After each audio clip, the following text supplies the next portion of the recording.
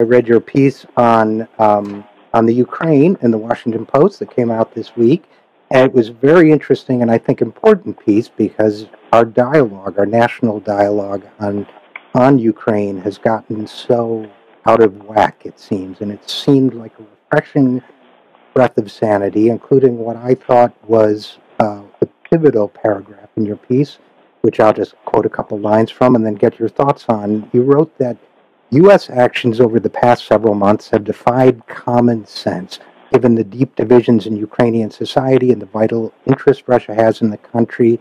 You say it was a provocative step for the United States to immediately and unconditionally recognize the new government as legitimate. And then you go on to say the media and political class have egged on the administration in a rash and destructive foreign policy, and that the debate has had an Alice in Wonderland quality to it. Even that leaks from the White House have added to this sense of hysteria, which suggests that the administration may, in a sense, be egging itself on. Right. accounts for this hallucinatory uh, quality of the debate about Ukraine that's gotten escalated to such a fever pitch? You know, a lot of what happens with uh, our foreign policy narratives, our domestic policy narratives, come from um, a narrative that is uh, untrue, a narrative that needs questioning, a narrative that defies common sense. You know, my husband and I, Stephen Cohen and I, wrote in the Nation last week that we're, you know, we're on the verge of a cold war against Russia, and there's been no debate. And what does that say about representative democracy or the failure of democracy? That there's scarcely been a public word of de- debate, much less opposition from the American political or media establishment. You know, Richard, I think what happens, they say that in uh, truth is the first casualty of war. I think in the case of Ukraine, complexity and history. As I write in this Washington Post piece, you know, Ukraine is a deeply divided country. Ukraine is on the border of Russia.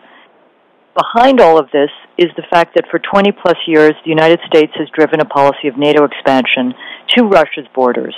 And I think that got lost in a lot of the hysteria. And that the EU decision, the Ukraine's decision to join the EU, uh, and then back off, because I think Ukraine understands it needs Russia and the West, instigated a hysteria, a hysteria that we are that we are seeing escalate every day. The key is that it makes no sense to treat Russia's actions as an existential threat to the post Cold War international order, given that the West needs Russian cooperation to stabilize Ukraine both politically and financially.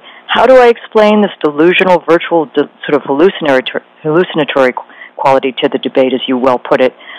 You know, I think when you come to these moments, war parties in both countries are empowered, and uh, it is certainly the case that Russia has legitimate grievances. It is certainly the case that we are being uh, bombarded with misinformation, disinformation from many sides.